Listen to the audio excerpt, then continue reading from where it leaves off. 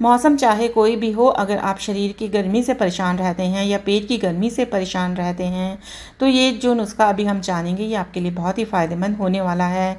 आपने देखा होगा किसी का सर हमेशा गर्म रहता है तो ऐसे लगेगा कि जैसे बुखार है या फिर पेट में इतनी ज़्यादा जलन हो जाती है, गैस हो जाती है, एसिडिटी की शिकायत हो जाती है, खाना आसानी से नहीं पचता, भूख नहीं लगती तो अगर आप इस नुस्खे का इस्तेमाल सात दिन तक कर लेते हैं तो आपको हंड्रेड परसेंट फ़ायदा मिलेगा। तो इस नुस्खे को बनाने के लिए आप पंसारी या किराना की दुकान से लाएँ गोंद कतीरा। ये बड़े बड़े टुकड़ों में भी आता है और छोटे छोटे टुकड़ों में टूटा हुआ भी होता है। आपको गोंद कतीरा जिस साइज़ में भी मिल जाए, आप ले लीजिए। आपको ध्यान दे रखना है कि आपको गोंद कतीरा लेना है, गोंद नहीं।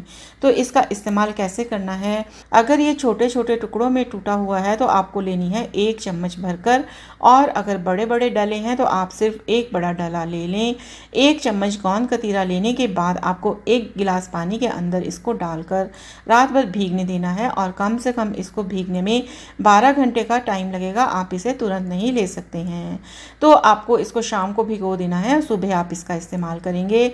एक चम्मच गोंद कतीरा के लिए पूरा फुल भरा हुआ एक गिलास पानी लेना है और ये पानी नॉर्मल टेम्परेचर का लेना है।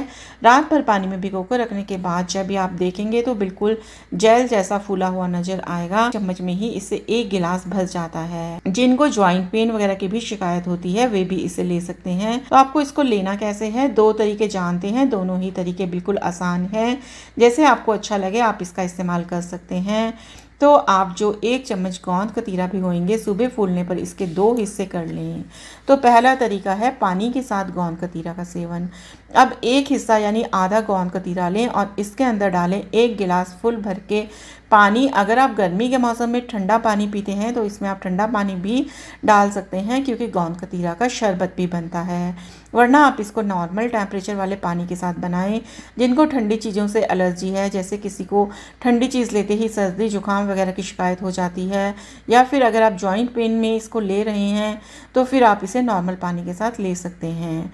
और जैसे आप नींबू पानी बनाते हैं, गर्मियों में ठीक वैसे ही आप इसमें पिसा हुआ पुदीना, नींबू का रस, भुना हुआ जीरा और नमक, ये सारी चीज़ें ऐड कर सकते हैं। आप चाहें तो काला नमक इसके अंदर ऐड कर सकते हैं, जो कि आपके डाइजेशन के लिए बहुत बढ़िया होता है। तो इसके अंदर आप दो चुटकी काला नमक, एक चम्मच पिसा हुआ पुदीना, आधा नींबू का रस और आधा चम्मच भुने हुए जीरे का पाउडर मिक्स कर लें। अगर नींबू बड़ा है तो एक गिलास में कम से कम आधा नींबू तो ज़रूर डालें। और जिनको जोड़ों के दर्द की शिकायत है और वो इसे लेना भी चाहते हैं तो जिनको खट्टी चीज़ों से दर्द बढ़ जाता है तो नींबू को आप अवॉइड कर सकते हैं। इसकी जगह पर आप सिर्फ़ पुदीना डाल सकते हैं, पीस कर, या फिर इसमें आप रू अफ़ज़ा डालकर भी पी सकते हैं। या कोई और शरबत जिसका फ्लेवर आपको पसंद हो, जैसे खस का शरबत या चंदन का शरबत, इसके अंदर डालकर आप पी सकते हैं। आप इसको सिर्फ़ पानी मिलाकर भी ले सकते हैं। इनको इस तरीके से ठंडा बनाकर नहीं पीना है, क्योंकि किसी किसी को जो ठंड, जिनको ठंडी चीज़ों से बहुत ज़्यादा एलर्जी होती है या फिर नुकसान देती है तो वो क्या करेंगे? अगर उनको भी पेट में गर्मी बढ़ी हुई है और इसका सेवन करना चाहते हैं तो आप रात भर भीगे हुए गोंद कतीरा के अंदर एक चम्मच भर के मिश्री डालें और ऐसे ही खा लें। उसको पानी या शरबत बनाने की ज़रूरत नहीं है, आपको कुछ भी डालने की ज़रूरत नहीं है, बस सिर्फ़ मिश्री डालकर आप इसे खा सकते हैं। तो इस तरह आपको कम से कम छः से सात दिन तक पीना या खाना है, इससे आपके पेट की गर्मी पूरी तरह ख़त्म हो जाएगी और फिर जो हर साल आपको गर्मी सताती है, गर्मी से आपको कई तरह की परेशानियाँ होती हैं, वो सब होना बंद हो जाएँगे, हाथ पैरों में जलन होनी भी बंद हो जाएगी। दूसरा तरीका है दही के साथ गोंद कतीरा का सेवन। कई लोग जो दूध नहीं लेते हैं, लेकिन दही खाना उन्हें पसंद होता है तो आप क्या करें कि जैसे मान लीजिए कि आप एक कटोरी दही ले रहे हैं तो आप बचा हुआ आधा गोंद कतीरा एक कटोरी दही के अंदर डाल लें अगर आप मीठा दही खाना पसंद करते हैं तो आप इसमें धागे वाली मिश्री कूट पीस कर उसका पाउडर बनाकर अपने स्वाद के हिसाब से इस दही में मिक्स कर लें। और अगर आप मीठा नहीं खाते हैं तो आप इसमें एक दो चुटकी नमक डाल लें। इसका टेस्ट बढ़ जाता है। बिल्कुल जैसे आप रायता खाते हैं, उस तरह का आपको लगेगा और साथ में आप इसमें भुना हुआ जीरा भी डाल सकते हैं। अच्छे से इसको मिक्स कर लें। गर्मियों के मौसम में दही खाना वैसे भी बहुत ही फ़ायदेमंद होता है।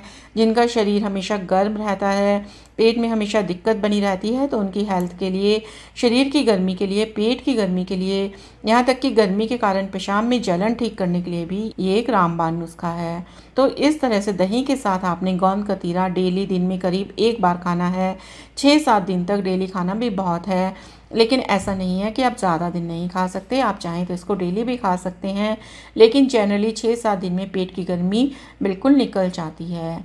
ये आप बच्चों को भी दे सकते हैं, बड़ों को भी दे सकते हैं, कोई प्रॉब्लम नहीं है। तो आई होप फ्रेंड्स आपके लिए जानकारी लाभदायक सिद्ध होगी। Thank you